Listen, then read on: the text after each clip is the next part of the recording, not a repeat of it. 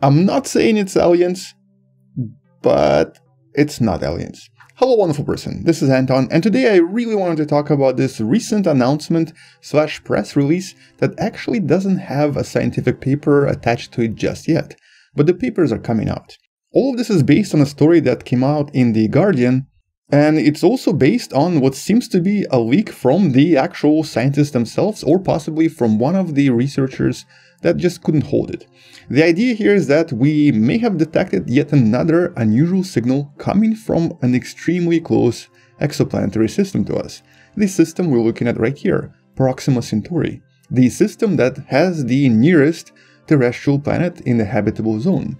And the signal is very reminiscent of the 1977 signal known as the WOW signal that is even today not particularly understood very well because we haven't really been able to detect it again. In other words, what I wanted to talk about today is a potential detection of maybe a technosignature, but most likely something that actually came from planet Earth, but we just couldn't identify what it is just yet. And the reason this is so exciting is because it's coming from the world's biggest Technosignature investigation, project known as Breakthrough Listen, the incredible project that was started 5 years ago by some really prominent people. And the idea here was to essentially fund as many possible listening hours on various radio telescopes as possible. But obviously in our search for extraterrestrial intelligence somewhere out there, we've already discovered a lot of potential signals that were later on found to be nothing more but signals from planet Earth or even signals from a common microwave, the signal that was known as the peryton that I discussed in one of the previous videos.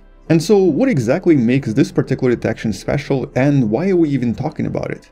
Unfortunately, until the papers come out, we're not going to know the details just yet, but from what we've already been told, this signal is specifically interesting for, well, three main reasons. Reason number one is its location. It seems to be coming from Proxima Centauri, because when the scientists were looking at a different location slightly away from Proxima Centauri, the signal disappeared. We know that Proxima Centauri's system is extremely interesting despite this being a red dwarf, it contains at least one planet in the habitable zone, the planet we refer to as Proxima b, and it does contain another planet known as Proxima c that's much much farther away from the star and most likely is some sort of a frozen terrestrial world. Or maybe some sort of a frozen ice giant. Either way, there are at least two planets here, but possibly even three.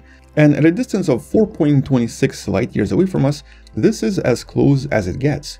So having a planet in a habitable zone and so close to us is always exciting for us.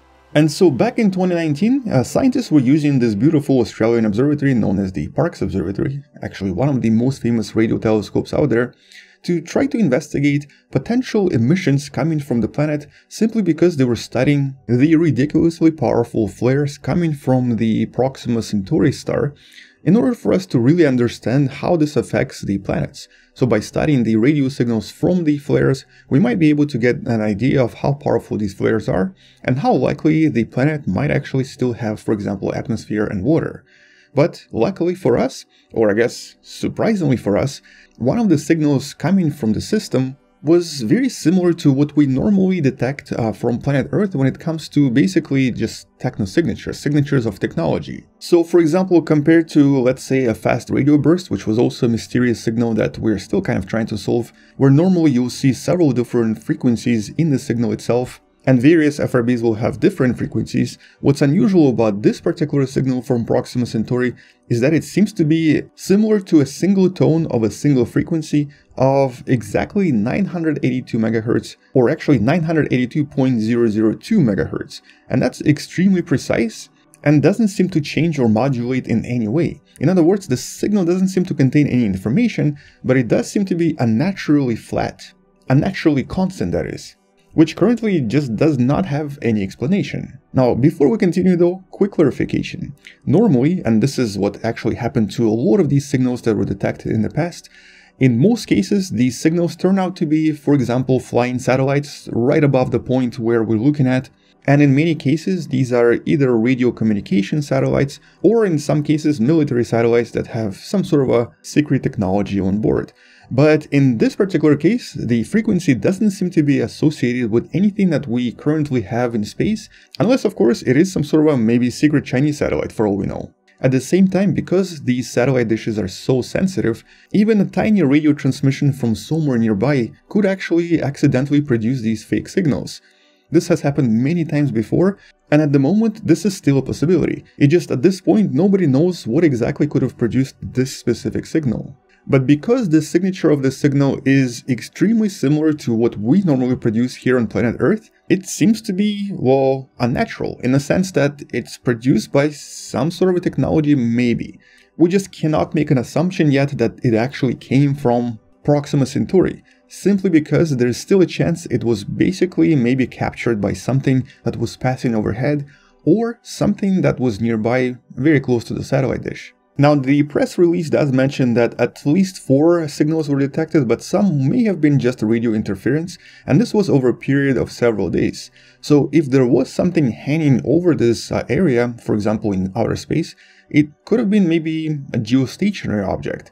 But at this point, we don't really know and we cannot really assume this because when they tried to look at this location very recently, nothing was actually discovered there. So if it was an actual signal coming from, for example, space, from maybe a satellite that was there, it may have shifted locations and is most likely not there anymore. And if by some unusual chance this was a signal coming from Proxima Centauri, which is a big, big if, in this case, it, someone just turned it off. It's no longer emitting anything anymore. But once again, this is a really big if, and very likely is going to be proven in the next few years to be something most likely artificial made by humans and that was just emitting the signals in this particular frequency. Now, just for fun, I actually tried to look up if anything that we know does emit 982 MHz, and except for this particular study that investigates these very unique lasers that are used in communication that do emit frequency by essentially blinking the lasers at frequency of about 982 MHz, there was really nothing else I discovered. And these particular lasers also have a very unique application in essentially fiber communication. I'm not entirely sure if there is some sort of a fiber that might have been causing this, maybe some sort of a cable connection close to the satellite dish, but for all we know, this could have been actually one of the possible explanations. Because if you remember, five years ago, the explanation for the so-called peryton signals was the microwave oven that was actually located not so far from the Parkes Observatory. So the previous unknown radio signals from this observatory were nothing more but someone just opening microwave oven a little bit too soon. But the reason so many scientists are going to be very eagerly awaiting these scientific papers to come out is really because even when there is a tiny tiny possibility that it is aliens, everyone is going to try to investigate this simply because a lot of our science really depends on this, depends on discovering extraterrestrial intelligence somewhere out there. But in all of the previous attempts, so far it's been just something very easily explainable, such as, for example, pulsars. And for all we know, maybe this particular discovery will actually lead to a discovery of a new phenomenon we've never known existed around various exoplanets before. But that's not all. There's actually something else that was really interesting about this discovery coming from the tiny pieces of information that were thrown to us by whoever leaked the information to begin with. So it turns out that the signal itself was also slightly blue shifted, or essentially its frequency was increasing a little bit, suggesting that it was moving toward the planet Earth. Or at least that's just one of the implications. It just means that the signal is moving closer to us because the frequency is going up. Now this blue shifting is very well understood, so we can actually figure out how fast it's moving, but until the papers come out, we're not going to be able to know anything about it. And also, unless we actually see the signal again, and unless we're able to somehow detect it from exactly the same location as we found it before, we're not going to be able to confirm this as a techno signature or any kind of an interesting alien signature. It's just going to remain as a potential disturbance from something else terrestrial that we just couldn't figure out. Now, like I said before, 982 MHz is not a very well used frequency, it's not something we normally use on Earth, but it could also be just someone's broken radio, someone's cell phone not functioning properly, or a plethora of other things that do produce radio frequencies in that specific way, especially because we know in the past very similar signals have been detected and already discredited as something that was basically produced by a device on planet Earth. Nevertheless, the signal has officially been given the designation BLC1, which stands for Breakthrough Listen Candidate 1, because this is the first time we've ever found a signal that has sort of passed all of the other filters. It's exciting enough for us to do a lot of follow-up studies and to try to discover what actually produced this after all.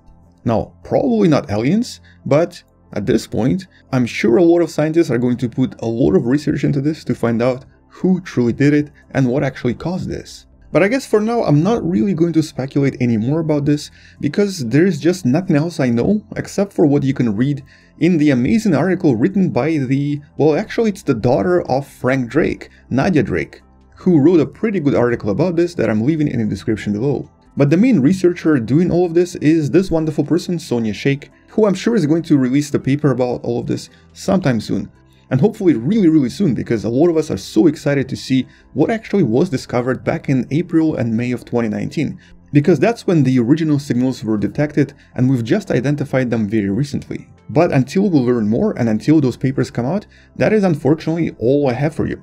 It's a pretty exciting announcement, it's definitely something really interesting reminiscent of 1977, and it's something that many scientists will be very very eager to learn about and to study in the upcoming months.